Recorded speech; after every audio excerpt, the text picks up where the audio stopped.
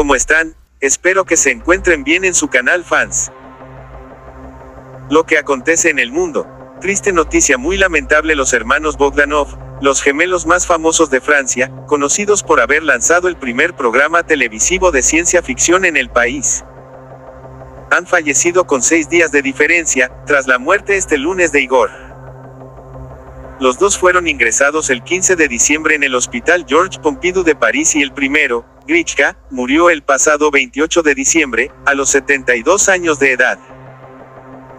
Aunque la familia no ha querido pronunciarse sobre la causa, su entorno había asegurado a la prensa que ninguno de los dos estaba vacunado contra el coronavirus y cuando Grichka murió. Tras varios días en coma, atribuyó su fallecimiento a la COVID.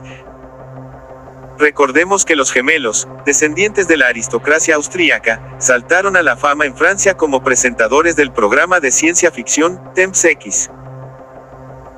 En antena de 1979 a 1987, Igor y Grichka, que en esa emisión se vestían con llamativos monos plateados, eran también reconocidos por su particular rostro, de mentón y pómulos prominentes.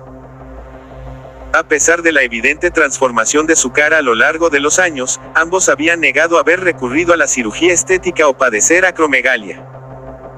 Eran doctores en física y matemáticas, escritores y figuras destacadas de la divulgación científica para el gran público. En paz descansen.